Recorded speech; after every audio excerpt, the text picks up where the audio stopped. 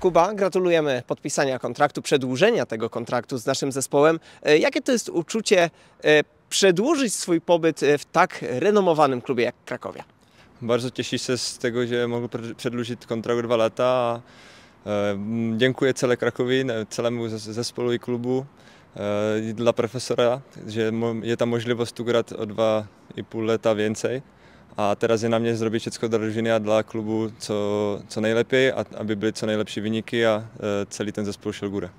E, Przed Tobą naprawdę sporo wyzwań, no i dodajmy jeszcze fakt, że też za Tobą e, dużo miłych spraw, ponieważ zostałeś kapitanem zespołu na początku tego sezonu.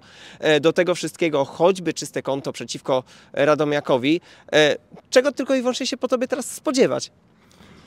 Tak, ten start sezonu był, jest dobry, jest dobry, ale mamy teraz dwa mecze w domu a chcemy naszym kibicom dać to zwycięstwo, ale będą to, to ciężkie mecze, a na nas jest zrobić to, aby ten wynik był dla kibiców i dla nas co najlepiej. Z perspektywy tego dotychczasowego okresu spędzonego w Krakowie, e, jakie są rzeczy, które najbardziej Ci się tutaj spodobały, jeśli chodzi o atmosferę, o styl bycia? Tak jestem tu zadowolony, rodzina tu żyje ze mną, mam dwie córki, także e, tak e, wszystko jest tu ok, bardzo, e, bardzo cieszę się z miasta, ale jestem tu, jestem tu piłkarzem, a dlatego, dla- dlatego tu wszystko robię, a chcę, chcę zrobić coś z Krakowi, ale nie będę co, to jest mój cel in, taki interny. Bardzo serdecznie dziękuję za rozmowę, no i życzę powodzenia w dalszym okresie spędzonym z naszym zespołem. Bardzo dziękuję, a cieszę się na następne mecze.